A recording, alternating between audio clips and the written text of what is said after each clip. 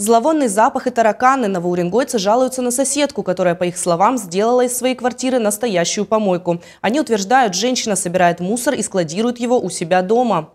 Жить в грязи среди насекомых и неприятного запаха они больше не намерены. Коллективно написали жалобу, ждут результатов. В ситуации попыталась разобраться наша съемочная группа.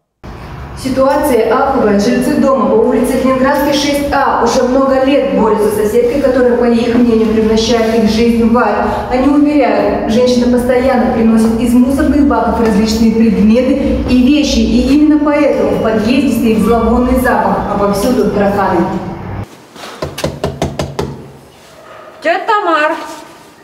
Дверь горожанка не открывает. По словам жильцов, их соседку Тамару они периодически встречают у мусорных баков. Домой она приносит несколько пакетов с мусором. И это странное увлечение, конечно, не взволновало бы ее соседей, если бы не последствия, с которыми пришлось столкнуться. Неприятный запах в подъезде и насекомые, а на попытку сделать замечание следует агрессивная реакция. она уже здесь проживала.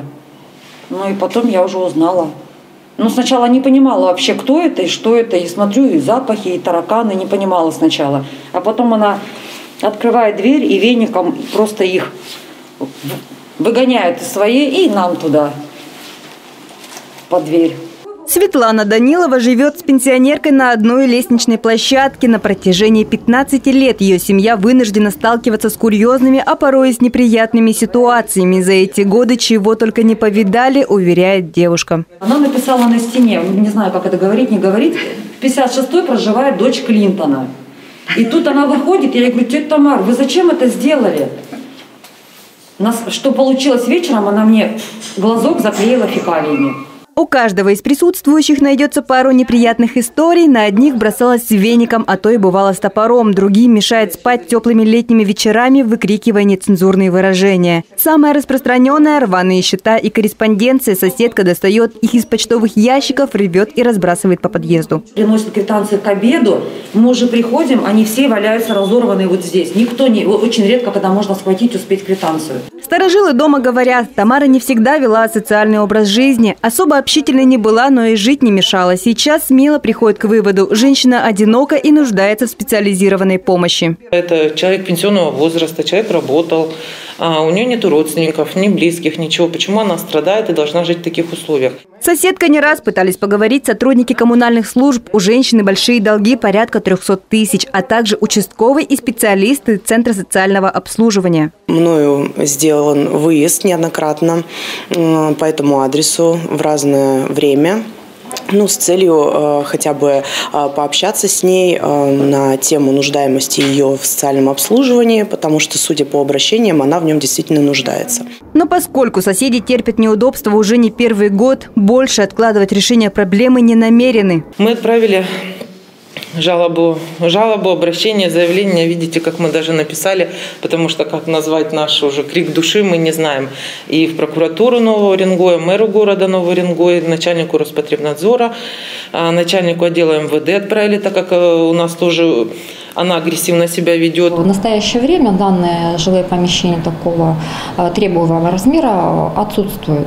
А, данный вопрос взят на контроль, и при наличии жилого помещения данного размера требуемого а, будет направлена информация наймодателю для дальнейшей работы и передачи искового заявления в суд.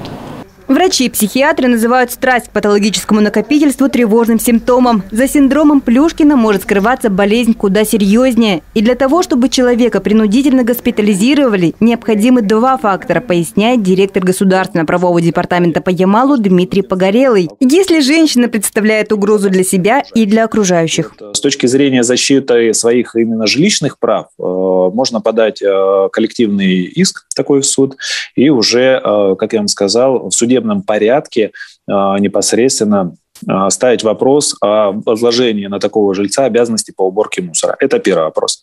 Второй вопрос, поскольку жилье социальное, то тогда органы местного самоуправления вправе а, предъявить к такому собственнику иск с предоставлением другого жилого помещения.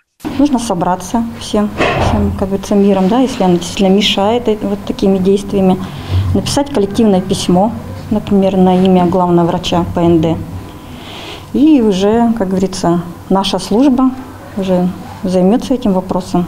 Ответ на жалобу новоуренгойцы получили. В письме от администрации города Новый Уренгой написано черным по белому. Проводится работа по определению жилого помещения для переселения в судебном порядке. В психоневрологическом же диспансере готовят исковое заявление в суд на психиатрическое освидетельствование. Однако, как будет дальше развиваться эта история, покажет время. Алена Ядня, Богдан Жиделев, Антон Берестянский, служба новостей «Импульс».